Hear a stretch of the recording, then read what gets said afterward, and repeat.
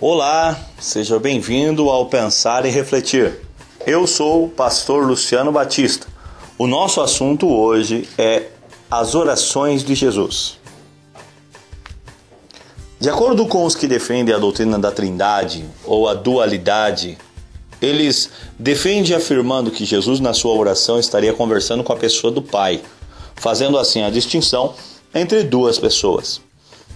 A resposta que eu vou estar postando agora não diz respeito a uma oração.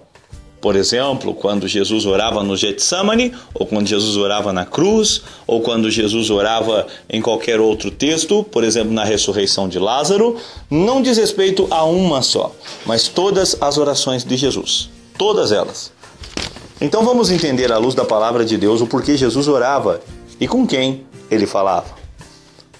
De acordo com Hebreus capítulo 5, Hebreus capítulo 5 fala sobre o sacerdócio de Cristo. E diz assim: Porque todo sumo sacerdote, tomado dentre os homens, é constituído a favor dos homens nas coisas concernentes a Deus, para oferecer dons e sacrifício pelos pecados, e possa compadecer-se eternamente dos ignorantes e errados, pois também ele mesmo está rodeado de fraqueza. E por esta causa deve ele, tanto pelo povo, nota agora, como também por si mesmo. Então vou ler de novo o versículo 3. E por esta causa deve ele, tanto pelo povo, como também por si mesmo, fazer oferta pelos pecados. A ninguém toma para si esta honra, senão o que é chamado por Deus como Arão. Assim também Cristo não se glorificou a si mesmo. Nota de novo 5 Assim também Cristo não se glorificou a si mesmo para se fazer sumo sacerdote, mas aquele que lhe disse: Tu és meu filho, hoje te gerei. Observe essa parte também, hoje te gerei. Versículo 6.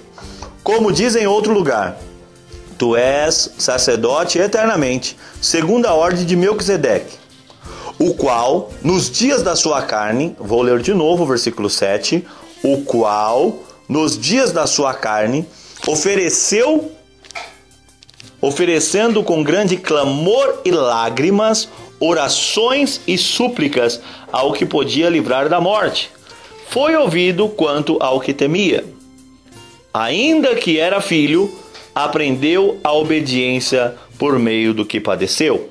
De novo, versículo 8: Ainda que era filho, aprendeu a obediência por meio daquilo que padeceu. Então, numa resposta geral a todos vocês que nos ouvem e participam do Pensar e Refletir, as orações de Jesus é porque ele era sumo sacerdote e ele estava, de acordo com o próprio texto de Hebreus, nos dias da sua carne.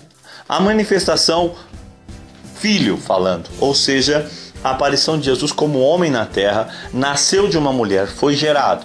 A partir do momento que é gerado, é filho, por isso diz: Hoje te gerei.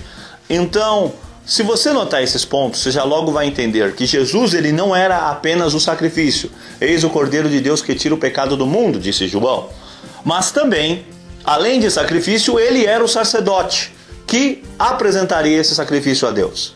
Então, como todo sacerdote tem que oferecer oferta pelos seus próprios pecados, você pode olhar no texto de que João, do que Jesus foi batizado por João Batista. Ele necessitava de batismo? Ele precisava ser batizado? Não, mas para se cumprir o seu ofício de sacerdote, porque ninguém pode exigir batismo se não foi batizado. Então Jesus foi batizado, Jesus exigia a oração porque ele orava. Jesus deu o exemplo, ele foi o modelo. Com quem que ele falava? Tem duas maneiras de eu te responder. Primeiro, Jesus não estava especificamente falando com quem, e sim cumprindo um ritual. É a primeira resposta. Ele cumpriu o ritual do sacerdócio fez a oração para cumprir um protocolo.